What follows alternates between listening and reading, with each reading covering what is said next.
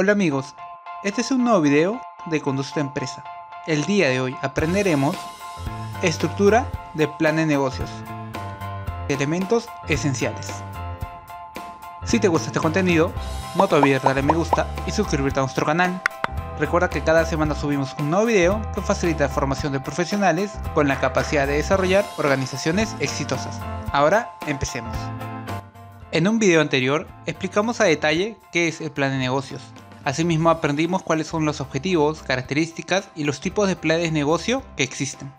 Si aún no lo has visto, te invito a verlo con el fin de tener una visión más clara de lo que veremos el día de hoy. Un plan de negocios es un documento que reúne toda la información necesaria para evaluar un negocio y ponerlo en marcha. Su función fundamental es determinar la viabilidad económica y financiera del negocio o del proyecto empresarial, la estructura del plan de negocios puede ser diferente para cada empresa. Sin embargo, existe una estructura convencional que puede adaptarse a cualquier negocio según sus necesidades y sus objetivos. La estructura convencional del plan de negocios consta de nueve puntos esenciales. 1. Resumen ejecutivo. 2. Idea de negocio.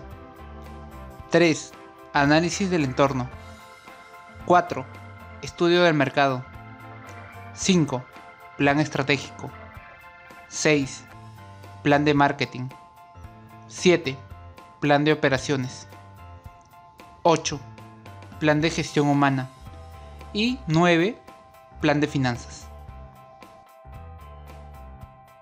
Resumen ejecutivo. Es la parte más importante del plan de negocios. Es una presentación breve de los aspectos más relevantes del plan de negocio. Este resumen debe mostrar el perfil de la empresa, la visión, misión, los valores, la descripción del negocio, las razones que justifican la existencia del negocio, las características diferenciadoras, las ventajas competitivas, la inversión necesaria y la rentabilidad proyectada del negocio.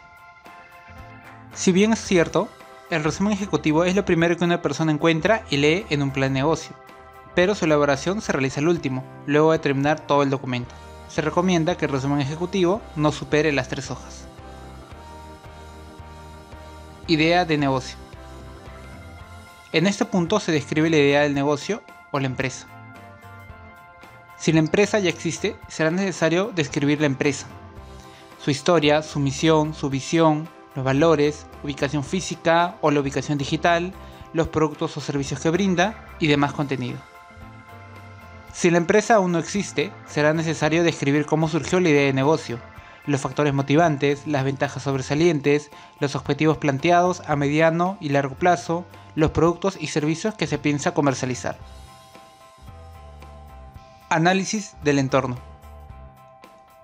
En este punto se detecta la oportunidad de éxito y las posibles amenazas que encuentran alrededor de la empresa. Aquí es necesario analizar factores externos como factores políticos, Aquí se analizan los aspectos gubernamentales, por ejemplo las políticas impositivas, incentivos empresariales, regulaciones sobre el empleo, fomento del comercio exterior, tratados internacionales con otros países. Factores económicos. Aquí se analizan los datos macroeconómicos, la situación actual y futura de la economía. Por ejemplo, el PBI per cápita, el ingreso promedio familiar, tasas de interés, inflación, tasa de desempleo, índice de precio consumidor y tipo de cambio. Factores socioculturales. Aquí se analizan la evolución demográfica sobre los cambios sociales y culturales de la población. Por ejemplo, movilidad social, estilo de vida, nivel educativo, religión, creencias, roles de género, modas y hábitos de consumo de la sociedad. Factores tecnológicos. Aquí se analiza el nivel científico e infraestructura tecnológica de un contexto determinado. Por ejemplo, inversión pública en inversión y desarrollo tecnológico, penetración de la tecnología, grado de obsolescencia, nivel de cobertura y brecha digital. Factores ecológicos. Aquí se analiza el grado de ecologismo y la tendencia de la sostenibilidad de los agentes implicados en el contexto. Por ejemplo, la legislación medioambiental, el cambio climático, los riesgos naturales, niveles de reciclaje y regulación energética. Factores legales. Aquí se analiza la legislación que tenga relación directa con el proyecto.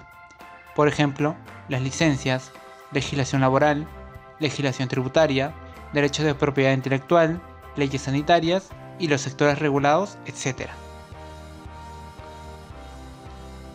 Estudio de mercado. En este punto se aplican técnicas cuantitativas y cualitativas de investigación de mercado.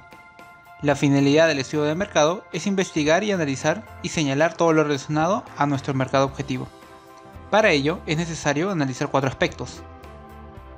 Análisis de clientes potenciales. Es el estudio de las personas interesadas en lo que vendes y que pueden convertirse en compradores, consumidores o usuarios. Análisis de productos sustitutos es el estudio de los productos que pueden ser consumidos cuando el cliente no encuentra nuestro producto disponible o cuando lo rechaza. Análisis de la competencia. Es el estudio para obtener información de la competencia con el fin de implementar mejores estrategias comerciales, financieras y tecnológicas. Análisis de proveedores. Es el estudio para analizar los proveedores necesarios para el funcionamiento de tu negocio.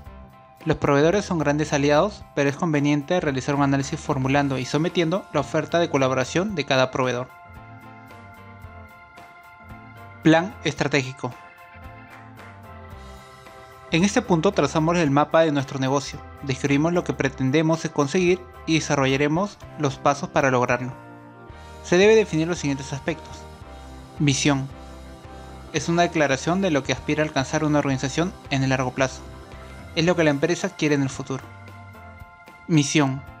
Describe el rol que pretende desempeñar la organización en el sector que participa para lograr su visión. Objetivos.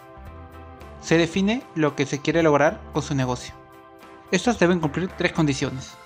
Deben ser establecidas para toda la organización, deben ser establecidas de forma permanente y deben ser establecidas en términos cuantitativos. Análisis FODA se realiza las fortalezas, oportunidades, debilidades y amenazas. Estos nos ayudan a tener un profundo análisis del negocio. El análisis FODA ayuda a consolidar sus fortalezas, resolver sus debilidades, aprovechar las oportunidades y evitar las amenazas. Hace unas semanas hicimos un video sobre análisis FODA. Puedes buscarlo en nuestro canal, de igual forma dejaremos el link en la descripción del video. Plan de marketing.